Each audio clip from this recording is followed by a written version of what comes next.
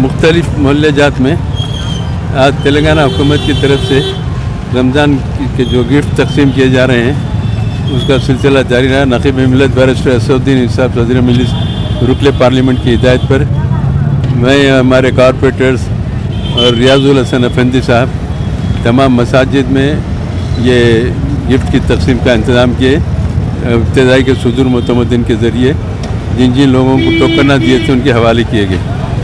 ये याकुतपुरे के मसाजिद के अलावा अहल तशी हजरात के मसाजिद में सदर साहब की सदर सर साहब की नुमाइंदगी पर रियाजुल हसन अफंदी साहब की दिलचस्पी पर तकरीबन 24 मसाजिद में तकसीम का इंतज़ाम किया गया है जो चार मीनार याकुतपुर हल्का राइंदा नगर हल्के के मुख्तलिफ़ मसाजिद हैं।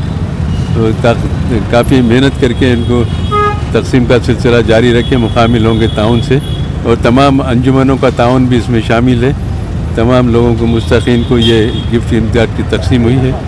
इन ये करीबुल ख़त्म है। कल तो कल या परसों तक पूरा सिलसिला ख़त्म हो जाएगा रमज़ान गिफ्ट की तकसीम का। थोड़े बहुत बचे हुए हैं। सलम इलाक़ों में गरीबों की इमदाद हुकूमत की तरफ़ से की जाती है उसमें। जहाँ तक है, कोशिश करें कि मुस्तक तक ये इमदाद पहुँचे। अलहमदिल्ला अब तक तो तमाम इंतज़ाम मुकम्मल हुए। इन आइंदा भी तकसीम का सिलसिला जारी रहेगा। शुक्रिया।